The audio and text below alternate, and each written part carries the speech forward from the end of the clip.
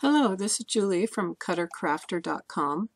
Today I'd like to show you how to make some adjustments in software um, for SVG files to use in the Scan N Cut.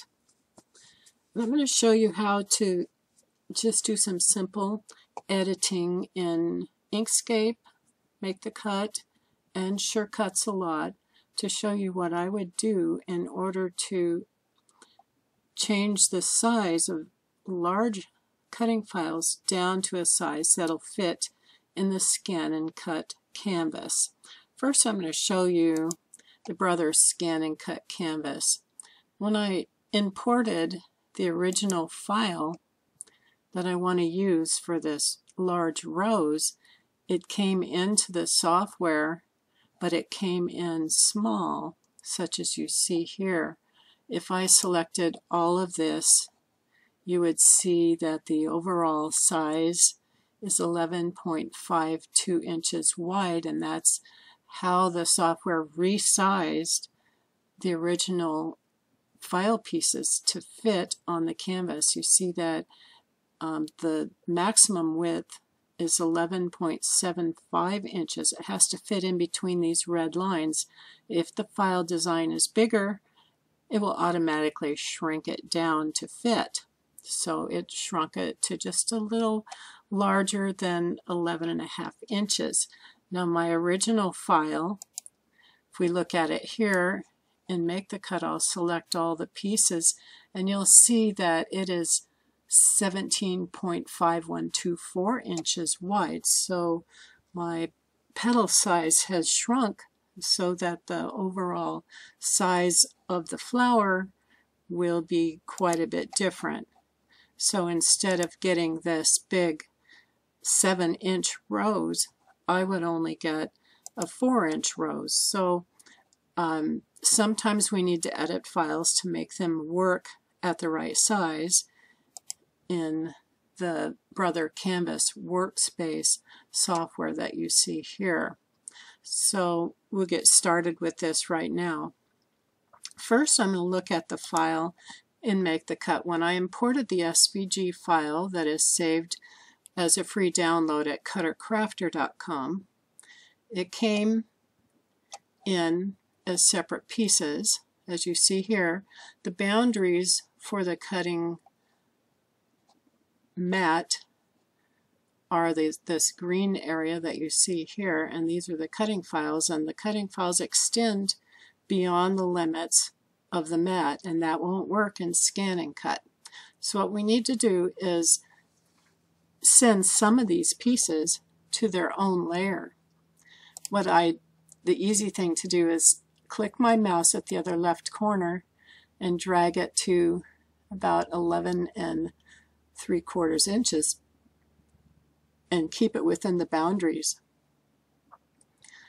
and release and whatever is chosen I'm going to send that to its own layer on the right side of the screen by clicking the icon that is the small plus. And those pieces go to their own layer. Here I'll hide them so you can see but they're on their own layer. The remainder of these pieces I can select and I can move them by clicking and dragging with my mouse anywhere on the virtual mat so that they all fit. And I'll check to make sure they're a good size by selecting them all. And up at the top I see it's 11.29 inches wide and 10.457 inches tall. So that would work. Now what I have is I have both layers hidden. I have this layer, I'll hide that one, and then I have this layer. Now we could put each layer on its own page if we wanted to, but this is good enough. What I'm going to do is select all of these, go to File, Export, Selection to SVG, and I'm going to change the name of this file to Large 3D Rose 1 and press enter. So it exported what I selected and it's important to select it. If you don't select it you'll have an empty SVG file. Now I'm going to close that layer by clicking on the eye icon and open the other layer and do the same thing. Select it all. Control A will select it all. Go to File, Export, Selection to SVG file. And on this one, I'm going to call it large rose 2 so that I have two different files. And now I can load either um, one of these at a time into my Scan N Cut software. So let's go over to Canvas. I'm going to delete what I had there and I'm going to go to File, Import SVG, go to my folder and I see large 3D rose 1 and open it and you'll see that it fits. Then I can save it, save as, and it saves a working file here. So I'm going to save it also as a large rose. Let me try that again. Save as large rose 1 in my name. And then I'm going to get a new file here. Well, before I get a new file, I'm going to export it as SVM, FCM. That is a, a file format that my Scan N Cut can read. So large rose 1 julieflanagan.fcm and I'll save that in the same place. Now I can get a new file. So I will go to new and again import SVG and I'm going to get the large 3D rose 2 and you see all the pieces pieces fit in here. And again export FCM I'll look in here for large rose and I'll save it as number 2 so it's different from the original and save it. Now alternatively I could transfer the file directly to my cutter via Bluetooth um, but for right now this will work. So FCM, let's see, can we save it to SVG? No, we cannot. So once we're in here, into the Brother Canvas workspace, we'll have the option of uh, saving it in FCM file or sending it directly to the Scan N Cut machine. So the other software we have here is Sure Cuts a Lot or SCAL. When I imported the, the design, the same exact design I used in Make the Cut, everything was grouped. So I have to click it to select it, right click and ungroup. So now all the pieces are ungrouped and I can move them around. Again, my goal is to get them all to all the pieces to fit on two different mats without going over the edges. So I'll just drag around the upper corner and drag the ones that will fit and move them aside.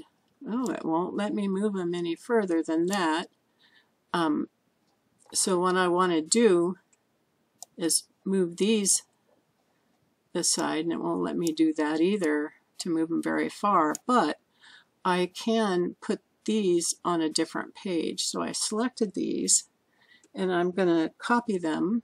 You can go to Edit, Copy, then open up a new page, page 2, and paste, edit, paste, and place so that now they come in here and I can arrange them so that they will fit on page size that I need. We don't want any of the shapes overlapping. So now we have page 2 and page 1. I can delete these that are selected here that I have on page 2.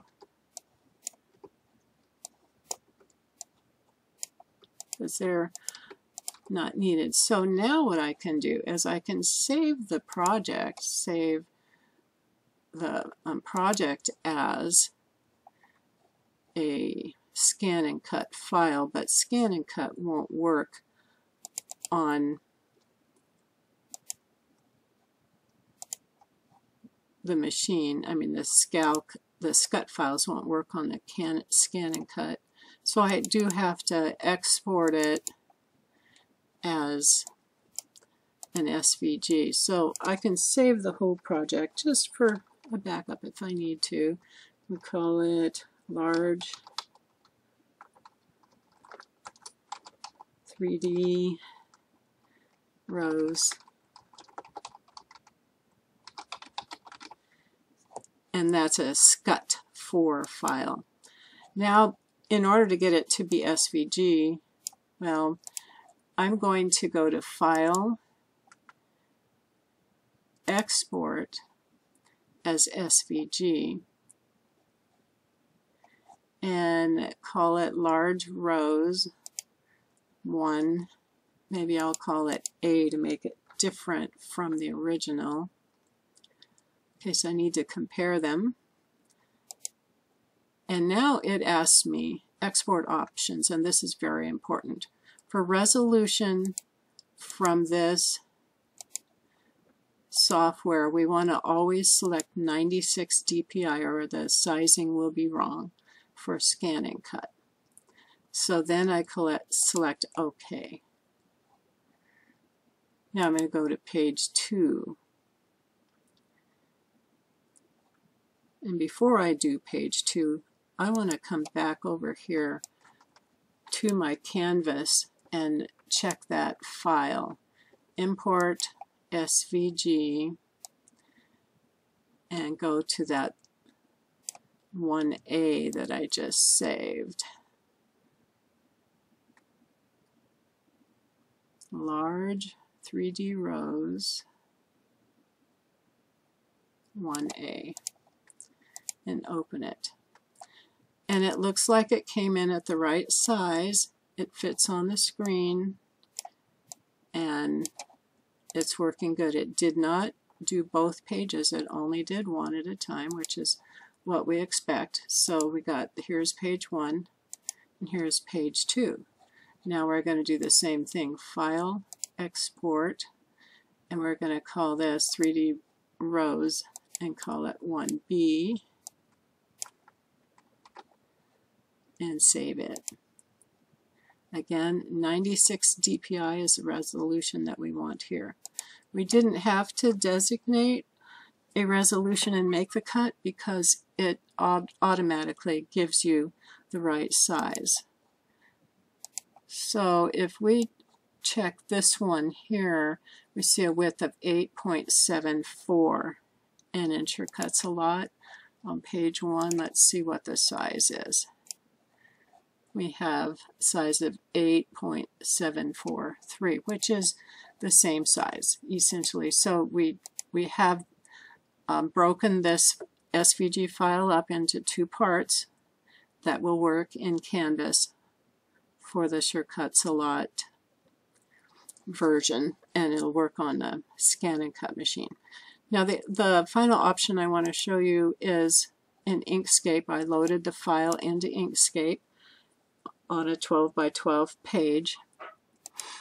When I click it, again, it's all one group, so I'm going to right click and ungroup, just like I did in Sure Cuts a Lot. And again, I'm going to move away the pieces. I'm going to, um, you see they're ungrouped now because they have little boxes around them. I'm going to hold a shift key and just click the ones that don't fit on the mat to select them. And I'm just going to, to get rid of them rather than worrying about how to use the software, I'm just going to hit the delete key and move this over a little bit and move everything with my arrow keys so that they fit in the middle of the page. And I'm going to go to File, Save As, large 3D rose, and I'm just going to call this 2A and save it. And then I'm going to undo Control Z and get rid of those that I just saved and put the rest on the page where we want it to be. Now we've got all the, the design parts here. Again, I'm going to save as, and we're going to call this B, 2B, and save it.